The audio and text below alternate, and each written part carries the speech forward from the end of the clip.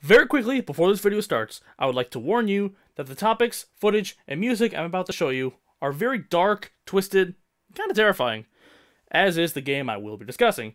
If you are a young child or are uncomfortable with things like death, corpses, feeling unsafe in your own skin, and the overall weight and severity your actions carry in everyday life, as well as in extreme situations with heavy and tragic consequences, then I suggest you don't watch this video. You will not be the same after this. It gets pretty disturbing. So I recently played through a game called Corpse Party Blood Covered, a kind of adventure horror game that was originally made with the RPG Maker software in 1996 and remade for sale on the Steam store, which I will link to down below. It's a fantastic experience that you really need to play through with the lights off to get the full effect. And after witnessing the five chapters it contains and watching the anime adaptation, I find myself questioning its themes and what it has to say about life. It reminded me of Doki Doki Literature Club in the way that what it has to say directly affected me as a person and touched me in some very sensitive areas that I thought a game could never touch. And no, it wasn't in the teary touchy feelsy kind of way.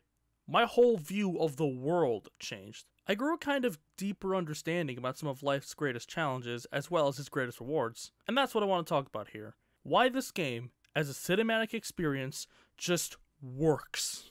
To briefly touch upon the absurdity that is this game's premise, a group of eight school kids and their teacher perform a charm called Sachiko Ever After that will ensure they stay friends forever, only to be transported to another dimension. This other dimension takes the form of the old elementary school that stood before their high school, Heavenly Host, but was torn down after a group of children were kidnapped and murdered but they are separated into small groups, as the spirits of the murdered children have formed the school into a nexus of closed spaces that all took the form of Heavenly Host. And when they die in these spaces, their souls are trapped in the school and they will feel the exact pain they felt at the time of death for all eternity. In this realm, death is absolute and no one can escape from it, so they have to fight to all end up in the same closed space so they can at least have the dignity of dying next to their loved ones. Holy crap, that's quite the premise! It's one that's so interesting and unique that opens up a million possibilities in terms of storytelling, characters, and events. With something so crazy and out of the ordinary, the sky isn't even the limit. The limit is existence itself. So in discussing what it does that's so great that it changed my worldview forever, we will be looking at three things. The characters and how they are treated, the evolution of the story, and the overall presentation of the world. This will be very fast paced, so let's jump into it right now! First off, how the characters are treated. This game is very willing to murder everyone in at least one of the many wrong endings. In fact, it's so murder happy that sometimes even when you do get the right ending, it's nearly impossible to tell that you did as events play out. You just gotta hope for the best, which is exactly what this game wants. You should not treat Corpse Party as a game, but instead as life or death. Your actions will either save their lives or send them to their graves in the most brutal ways possible. When a girl jumps into a contaminated pool to drown herself, you can either try to find the spot she landed in and dive in to save her life, or drain the pool of its water and come back to find her corpse. Halfway stuck in the drain pipe. Absolutely mutilated.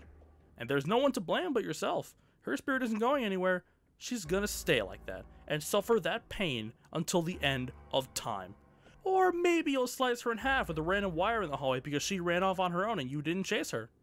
And then get cut in half yourself. Or maybe you'll get in a fight with your best friend after you almost get murdered, and you next find her in the bathroom hanging from a noose.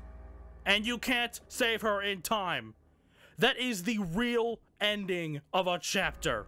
What the hell even is this game after something like that? Okay, let's just move on to the second point of discussion today, how the story develops and shows the progression of Heavenly Host turning into the living hellscape it is today. I told you this video gets disturbing. So here's the deal with this one. I'll keep it as spoiler free as possible, with one glaring exception, even though I don't think anything in this video counts as a spoiler. I already told you about how every character dies in at least one ending, so who really cares about spoilers anymore? Regardless, until Chapter 5, all you really know about Heavenly Host is that it's a messed up place that exists because of the pain and suffering of dead kids, right? But as you move forward in the chapter, you learn that the kids were tortured mercilessly until they died, the real reasons why the school had to be closed and torn down in the first place, and the biggest truth bomb of all, hold on. I'm about to spoil the true background of Sachiko, and it's not something that can be properly appreciated unless you play the rest of the game. If you aren't fine with spoilers, skip ahead to the time code shown on screen now. Three, two, one.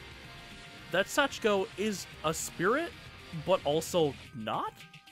She's a physical manifestation of her spirit, which held so much hatred after being killed alongside her mother when she was just 7 years old. All she wants is to send children to her mother, the school nurse, and make her happy again. But it isn't making her happy, and this drives them both mad. End of spoiler. After learning something like that, after learning the truth behind why this realm exists, it's clear that the writers knew exactly what response they could generate from you. They wanted you to grow to genuinely feel sorry for these children. They aren't the ones to blame for this cursed existence, their killers are. And now it's your job to help them finally rest in peace. And lastly, the presentation of all them meaty bits. For being mainly pixelated, these are some of the creepiest graphics I have ever put down money to see. Just by the look of the school, you never can feel safe. Something will always pop out and end your run, and it will always have the possibility to. Each time you pass by a desecrated corpse, you truly feel the suffering they must have been through in their brief life the Heavenly Host. What did they look like when they were alive? It doesn't matter, because soon you will be looking like that too. How did they even die? Don't worry, you can pick up their ID badge so you can look at exactly how they died. That's pretty damn creepy. Oh, and the soundtrack? Oh, the soundtrack. Every piece of music gives you a different emotion that resonates strongly with what's currently happening or what's about to happen. And there's a wide variety of pieces. Chapter 1's theme makes you want to figure out exactly what's happening as quickly as possible, while the grim reality of where you now reside starts to sink in.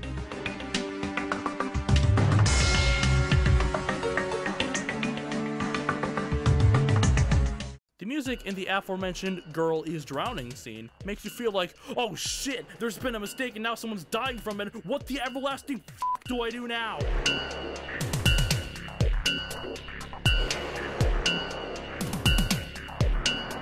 And then there's my favorite piece in the entire game, which plays in the abandoned bomb shelter underneath the school, because this is Japan, walking through shelves of collected human skulls, past random trap holes, and in a room where humans are butchered like cattle, on your way to face Sachiko herself. Just listen.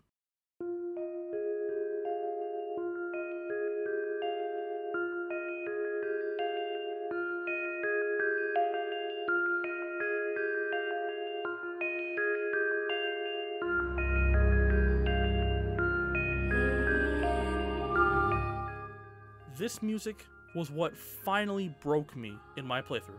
It's equal parts tragic and terrifying.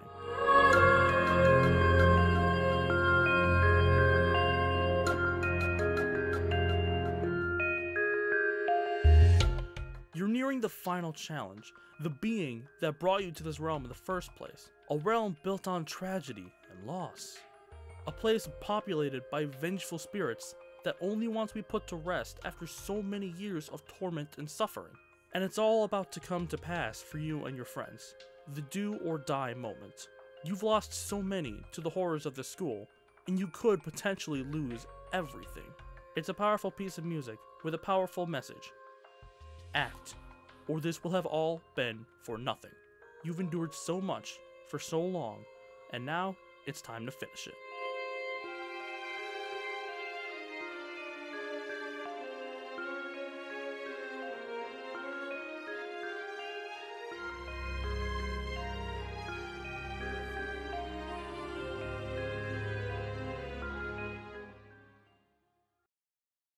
And on that note, I believe I should do the same thing and end this video right here.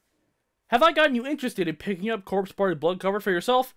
Well then head on over to the Steam store and pick it up. I've linked it in the description down below. Do you feel like watching something a bit less scary uh, before you have nightmares at night? Well, go ahead and hit me right in the face to watch me talk about Dragon Ball Super. If you like this type of content, consider dropping a like. And if you really like to hear me ramble on more about stuff, consider subscribing. Your viewership means a whole lot more to me, and I cannot thank you enough. So until next time, hold on. I'll see you later!